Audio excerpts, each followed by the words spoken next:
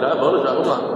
É, Bem-vindos a mais um vídeo do Desafio Marketing Digital em um minuto. Você que já me conhece sabe como é que funciona. Eu frequento congressos no Brasil e em alguns fora. Paro alguém e falo, ó, você pensa na pergunta, você vai me fazer, na hora que você faz eu tenho um minuto para te responder. Esse é o Juliano. Você é de onde, Juliano? Cascavel, Paraná. Cascavel, Paraná. Muito bom. Então vamos lá, deixa eu respirar aqui. Faz a pergunta aí. Qualquer pergunta em qualquer área do marketing digital. Isso aí, vamos lá. Então, tem uma seguinte dúvida aqui com relação à escada de produtos para o funil de vendas.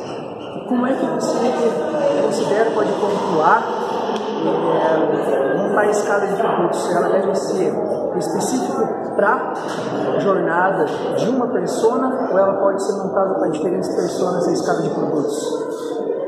Show, vamos lá. Você está falando de escada de produtos, eu conheço como esteira, vai dar no mesmo, é uma esteira de produtos. Isso aí é muito comum no mercado de afiliação, afiliados fazem muito isso. Eles pegam um mercado, um nicho específico e vendem para esse nicho vários produtos correlatos. Tá? Exemplo, estou trabalhando com emagrecimento, tá? eu posso vender para uma pessoa, para uma pessoa, posso ofertar, perdão, uh, um produto de como emagrecer à base de alimentação. Ok, beleza. E se, se eu já sei que essa pessoa tem, se ela fez uma compra, eu sei que ela tem interesse em emagrecimento. Porém, não necessariamente eu posso afirmar que ela quer emagrecer somente com uh, alimentação. Então, futuramente eu posso ofertar o produto de emagrecer com pílulas, com cápsulas, com exercício, uh, ou seja, uma reeducação alimentar e por aí vai. Ou seja, eu tenho uma esteira, uma esteira não ordenada de produtos que eu vou ofertar sequencialmente, porque o próprio lead ou ao acessar a página de vendas, ou a dar um like numa página, dar um like no vídeo, ele mostrou para mim que ele tem interesse naquele assunto ali. Isso é uma esteira não ordenada. Tá? Tem uma, uh, uma ordem. Eu vou pegar esse vídeo e vou chegar um pouquinho mais.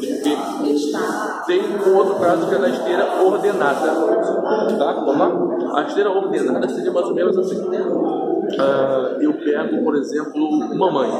Okay? Eu oferto. Como é, como é que é o processo de uh, gestacional? A pessoa, a mulher no caso, engravida e ela começa a buscar sobre loca, é, locais de maternidade, locais de é, hospitais que fazem parto, uh, carrinho de bebê, berço, uh, o Moisés, né? Não sei se o que é Moisés, que é aquele negocinho que leva a criança. Enfim, no dado momento que a pessoa compra na minha oferta um Moisés, por exemplo, ou um, um berço, opa, peraí, se ela comprou o berço, criança já nasceu? Vai nascer. Se eu tenho esse e-mail, o que eu posso fazer sequencialmente? Eu posso ofertar algum produto correlato que tenha a ver com uma criança que ou vai nascer, ou tem um mês, ou tem dois meses, ou tem três, ou tem quatro, ou tem cinco, e por aí vai.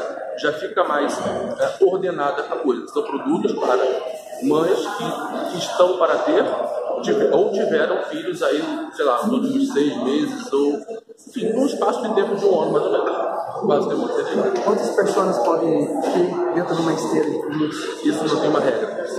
Por certo, não, tem regra assim, não existe uma pessoa só. Um produto ele não resolve um único problema de uma única pessoa. O produto, eu mesmo tenho um produto que está no GT, que é o Guia do Tráfego, é um produto que ensina a gerar tráfego, mas não vai importar se você quer gerar tráfego como o dono de hotel, como uma pessoa que está satisfeita porque o web designer fez o site, sei lá, me churrela e esse site não, não, não gera tráfego, ou você é o dono de um. Você é um médico que está satisfeito com o seu consultório não ter volume suficiente de uh, visitas. Enfim, o problema de tráfego é esse específico ele é universal. O GT resolve isso e para diversas pessoas, pessoas uh, diferentes. Não, não, não tem uma regra. Vou te dar um exemplo bem claro de um produto que talvez a minha audiência conheça, que é o forma de lançamento do Érico Rocha. O Érico já catalogou sete, seis pessoas diferentes para o mesmo produto, que é o forma de lançamento. Isso aí, beleza? Beleza? Fica aí minha pergunta. Obrigado, galera. Fiquei gerando almoço. Abraço, Até mais. Tchau, tchau.